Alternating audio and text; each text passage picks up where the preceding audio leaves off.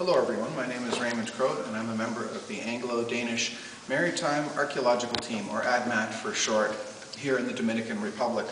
Um, you see me holding here an Aquascan International gradiometer. Uh, we've used this instrument uh, successfully on a number of occasions on two area shipwrecks, the wreck of the Le Casimir and an as yet unnamed wreck, uh, the Tile wreck.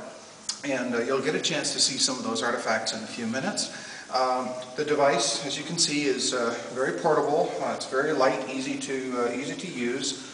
And um, the only difference between what you see me now and under the water in terms of use would be that the bone phone here uh, would slide under my mask strap so that I could hear the tones uh, as the unit detected an object, a ferrous object.